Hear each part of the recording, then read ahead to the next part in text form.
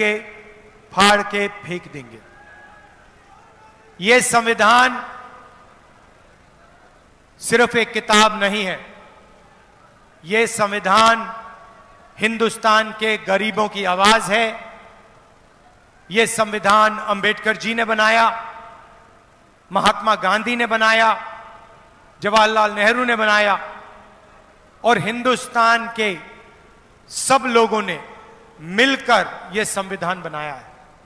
चाहे रिजर्वेशन हो, चाहे पब्लिक सेक्टर हो, चाहे गरीबों के अधिकार हो, धार्मिक अधिकार हो, जो भी आपको मिले हैं, वो इस संविधान से मिले हैं और अब बीजेपी चाहती है कि वो इस संविधान को खत्म कर दें, मिटा दें।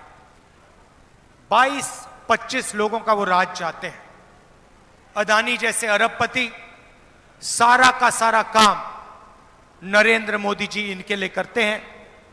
किसानों के काले कानून लाए, मजदूरों के लिए कुछ नहीं किया, छोटे व्यापारियों के लिए कुछ नहीं किया, बेरोजगारी फैलाई, महँगाई फैलाई। नरेंद्र मोदी जी ने सिर्फ़ भाई को भाई से लड़ाया, एक जात को दूसरी जात से, एक धर्म को दूसरे धर्म से, एक प्रदेश को एक भाषा को दूसरी भाषा से और पूरा का पूरा काम उन्होंने 22 लोगों के लिए किया है। सारे के सारे airport, ports, infrastructure, solar power, defence industry, जो भी था, उन्होंने अदानी जी जैसे बड़े बड़े अरबपतियों को दिया। अब सवाल उठता है कि कांग्रेस पार्टी की सरकार क्या करने जा रही है? मैं अपने हर भाषण में कहता हूँ, उन्होंने 22 लोगों को लाखों करोड़ रुपए दिए। भाइयों और बहनों 22 अरबपतियों का नरेंद्र मोदी जी ने 16 लाख करोड़ रुपया माफ़ किया है। 16 लाख करोड़ रुपया कितना होता है वो मैं आपको बताता हूँ। यूपीए के समय हमने एक बार किसानों का कर्जा माफ़ किया था। तकरीबन सत्तर हज़ार करोड़ रुपए हमने किसानों का कर्जा माफ़ किया। अगर आप वही कर्जा माफ़ी 24 साल के लिए हर साल करेंगे, उतना पैसा नरेंद्र मोदी जी ने 22 लोगों को दिया है। किसानों ने कानूनी एमएसपी मांगी। नरेंद्र मोदी जी भाषण में खुलकर कहते हैं कि कानूनी एमएसपी नहीं दूँगा। आप सही दाम मांगते हो, नरेंद्र मोदी सही दाम नहीं दिलवाते। मार्केट में कोई भी प्रोडक्ट होता है, उसका सही दाम मिलता है, उस पर रेट लिखा होता है। मगर जब किसान अपना माल बेचता है, गन्ना बेचता है, आलू बेचता है, धान, उसको कभी भी सही दाम नहीं मिलता।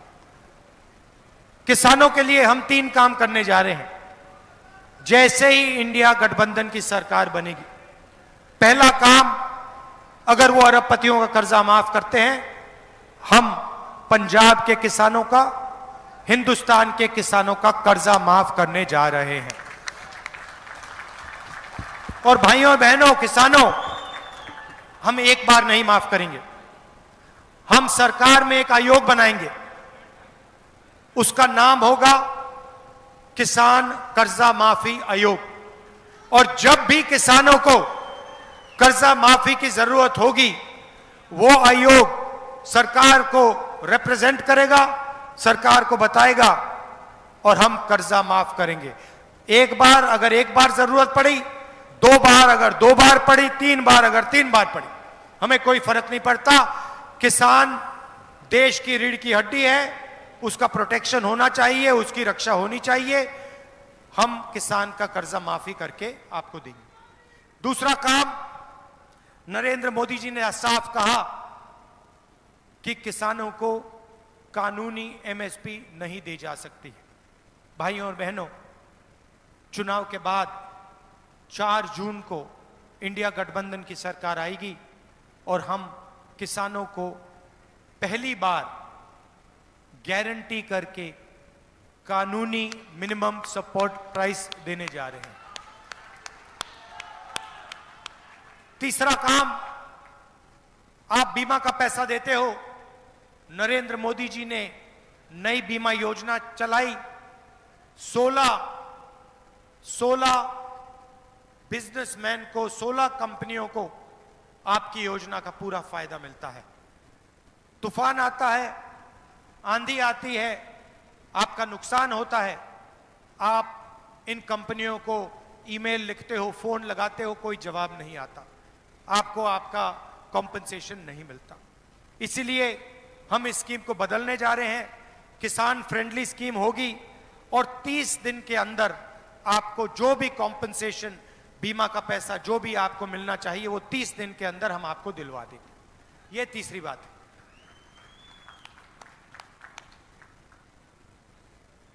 भारत जोड़ो यात्रा में मैं चार हज़ार किलोमीटर चला, पंजाब से भी निकला और हज़ारों लोगों से मेरी बात हुई, किसानों से, मजदूरों से, छोटे व्यापारियों से, बेरोजगार युवाओं से। हमारा जो मैनिफेस्टो बना है, वो कांग्रेस पार्टी का मैनिफेस्टो नहीं है। वो हिंदुस्तान के किसानों की आवाज़ है, मजदूरों की आवाज़ है बेरोजगार युवाओं की आवाज़ है। उनकी आवाज़, भारत जोड़ो यात्रा में जो उन्होंने हमसे कहा और न्याय यात्रा में जो उन्हें, उन्होंने हमसे कहा, भारत की जनता ने कहा वो ही हमने मैनिफेस्टो में डाला है। आज मैं आपको दो तीन क्रांतिकारी कामों के बारे में बताने आया हूँ। सबसे पहले और सबसे ऐतिहासिक काम, महालक्ष्मी योजना। नरेंद्र मोदी जी ने 22 अरबपति बनाए अब हम लाखों सॉरी करोड़ों लाखपति बनाने जा रहे हैं। कैसे करेंगे मैं आपको बताता हूँ। हिंदुस्तान के गरीब परिवारों की लिस्ट बनेगी। हर परिवार में से एक महिला का नाम चुना जाएगा। और हर महीने उस महिला के बैंक अकाउंट में आठ हज़ार पाँच सौ रुपए इंडिया की सरकार डाल देगी जुलाई सत श्री अकाल। जुलाई में पाँच जुलाई को काम शुरू होगा। खटाखट खटाखट खटाखट खटाखट। हर महीने हिंदुस्तान में करोड़ों परिवार जागेंगे। नौ बजे सुबह अपने बैंक अकाउंट को चेक करेंगे।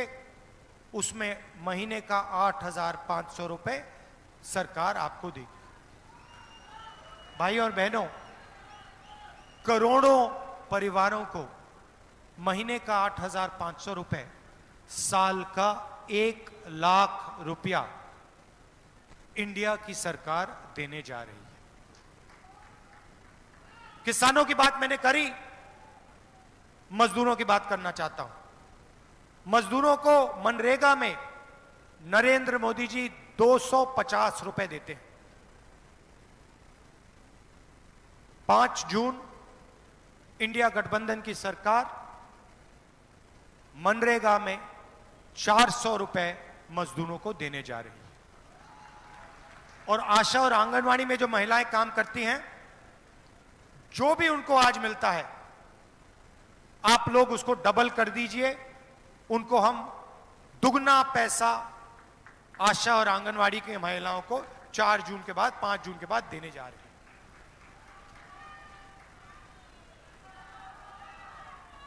युवाओं की बात करना चाहता हूँ। नरेंद्र मोदी जी ने आपसे कहा कि हर साल दो करोड़ युवाओं को रोज़गार दूँगा। झूठ बोला जीएसटी नोटबंदी, ये करके छोटे व्यापारियों को स्मॉल एंड मीडियम बिजनेसेस को, पंजाब के जो स्मॉल एंड मीडियम बिजनेसेस जो पहले आपकी रीढ़ की हड्डी हुआ करते थे मैन्युफैक्चरिंग यूनिट्स उन सबको नरेंद्र मोदी जी ने खत्म किया, मारा अदानी जी, अंबानी जी को फ़ायदा पहुँचाने के तो आज हालत यह है कि हिंदुस्तान के युवाओं को रोज़गार नहीं मिल सकता। तो हम इनके लिए दो तीन काम करने जा रहे हैं।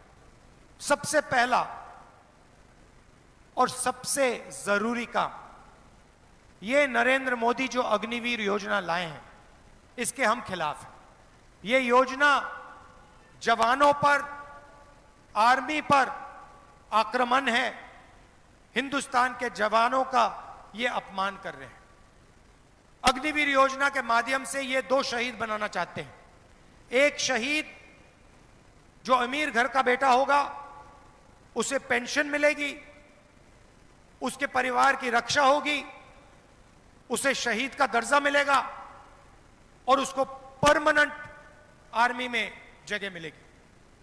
और दूसरा शहीद, जिसको ये अग्निवीर कहते हैं, जवानों को इन्होंने मजदूर बनाया, उस शहीद को कहा जा रहा है, तुम्हें छह महीने की ट्रेनिंग मिलेगी, उसके बाद अगर तुम शहीद हुए, तुम्हें ना कोई पेंशन मिलेगी ना कॉम्पनसेशन मिलेगी, ना शहीद का दर्जा मिलेगा। यह अपमान है हिंदुस्तान की सेना का, देशवासियों पर अपमान है। इस योजना को हम खत्म करने जा रहे हैं। अग्निवीर योजना को 4 जून को हम फाड़ कर कूड़ेदान में फेंक देंगे। हम दो तरीके के शहीद नहीं चाहते शहीद होगा एक तरीके का होगा पेंशन मिलेगी परिवार की रक्षा होगी कॉम्पनसेशन मिलेगी शहीद का दर्जा सबको मिलेगा। श्री राहुल गांधी! श्री राहुल गांधी! दूसरा काम 30 लाख सरकारी रोज़गार खाली हैं हमने आंकड़े निकाले हैं ये 30 लाख सरकारी रोजगारों को हम भर के आपके हवाले करने जा रहे हैं। और आखिरी बात, युवाओं के लिए, बेरोजगार युवाओं को हम पहली नौकरी पक्की का अधिकार देने जा रहे हैं। पहले हमने मनरेगा में रोज़गार का अधिकार दिया, गरीब परिवारों को बहुत फ़ायदा मिला। इस बार हम 400 रुपए मनरेगा का 400 रुपए पैसा बढ़ा रहे हैं, मगर जो ग्रेजुएट्स होते हैं college graduates university graduates diploma holders वो मनरेगा का काम नहीं करते। तो इस बार हम ग्रेजुएट्स के लिए एक नया अधिकार ला रहे हैं। पहली नौकरी पक्की। इसमें हिंदुस्तान के ग्रेजुएट्स डिप्लोमा होल्डर्स यूनिवर्सिटी और कॉलेज के ग्रेजुएट्स को अधिकार मिलेगा। अगर हिंदुस्तान के किसी भी बेरोजगार ग्रेजुएट ने सरकार से एक साल की नौकरी मांगी तो सरकार को एक साल की नौकरी देनी पड़ेगी मना नहीं कर पाएगी।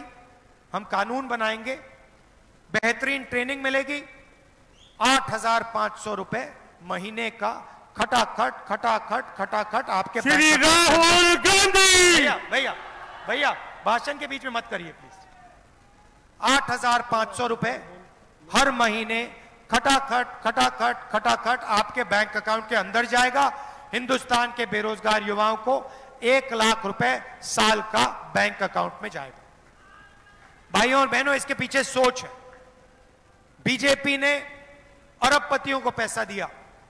उन्होंने यह पैसा अमेरिका में, जर्मनी में, इंग्लैंड में, दुबई में खर्च किया।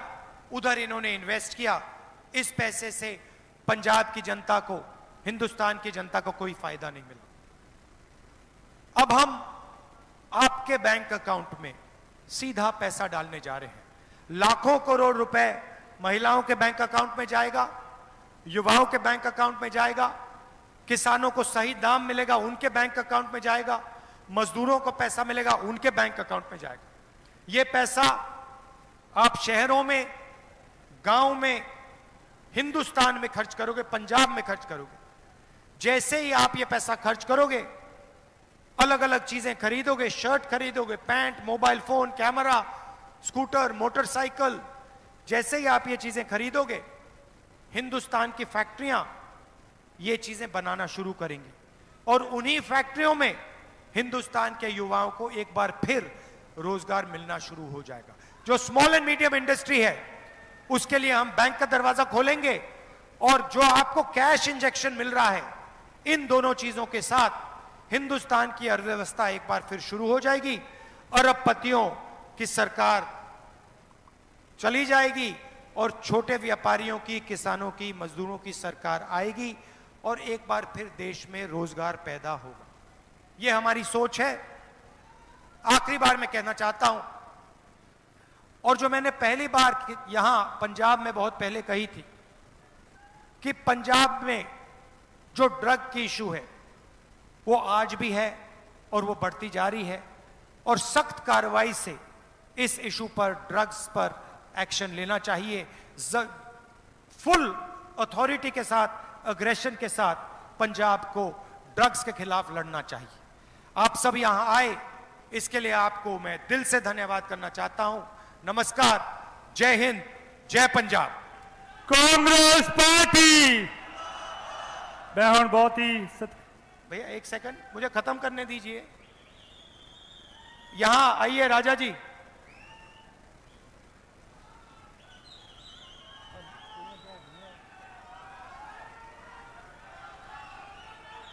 देखो भैया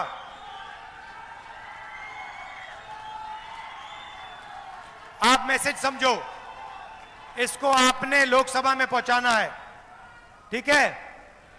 ये आपका एसेट बनेगा। इसको लोकसभा में पहुंचाना है। ये आपकी आवाज़ के लिए लड़ेगा। और ये लॉन्ग टर्म एसेट बनेगा आपका। तो भारी बहुमत से इसको जिताना है। जिताओगे? पक्का? शाबाश। धन्यवाद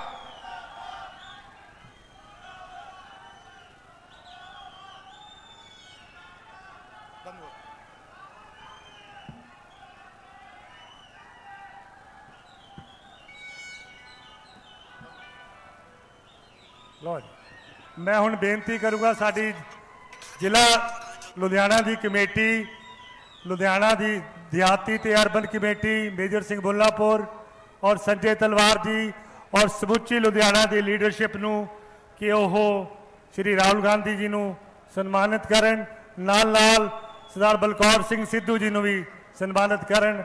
ਤੁਹਾਡਾ ਸਾਰਿਆਂ ਦਾ ਇੱਥੇ ਆਉਣ ਤੇ